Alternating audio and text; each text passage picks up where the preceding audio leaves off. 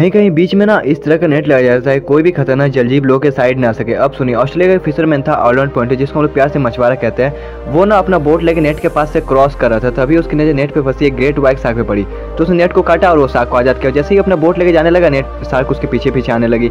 और उसने जब भी वो समुद्र में अपना बोट लेके जाता, सार्क उसके पीछे पीछे आती। सार्क और उसमें ना बहुत अच्छी वाली फ्रेंडशिप होगी। आप ये फोटेज देखिए, जब भी वो अपना बोट रोकता, सार्क आके उठ जाती और फिशरमैन अपना हाथ से उसका बैक और गर्दन के एरिया में स्क्रच करता और सार्क को ये बहुत अच्छा लगता।